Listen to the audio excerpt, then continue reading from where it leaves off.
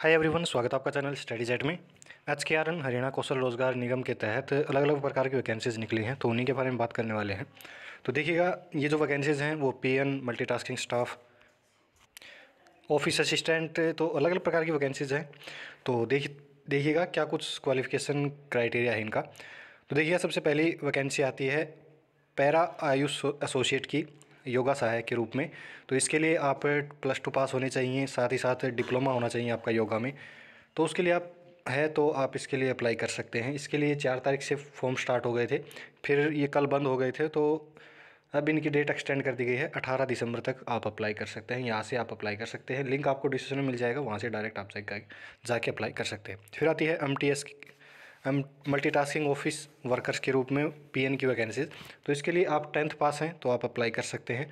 और वहीं अठारह तारीख इसकी लास्ट डेट है। फिर आती है ऑफ़िस असिस्टेंट की वैकेंसी तो इसके लिए आप bachelor of degree in commerce BCA है आपके पास बिज़नेस एडमिनिस्ट्रेशन बीबीए है तो आप इसके लिए अप्लाई कर सकते हैं। और एक साल का एक्सपीरियंस भी यहाँ पर बताया गया है कि है आपके पास तो और बढ़िया बात। और तो इसमें अठारह तारीख इसकी भी लास्ट डेट रहेगी।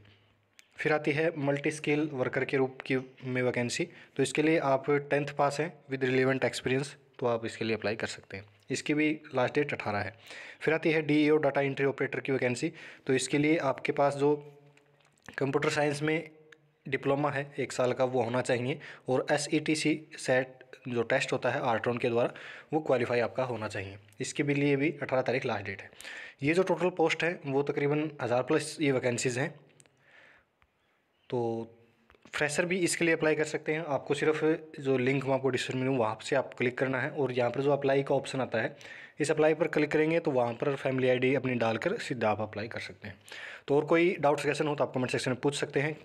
एज की बात करें तो इसमें अठारह से शायद चालीस साल तक के कैंडिडेट इसके लिए अप्लाई कर सकते हैं। सैलरी आपकी जो कौशल रोज़गार निगम के तहत जो डी सी रेट वैकेंसी जो सैलरी होती है वो आपकी रहेगी। यानी कि पी की जो बात करें तो आपकी दस बारह हज़ार रुपये आपको शुरुआत में दिए जाएँगे।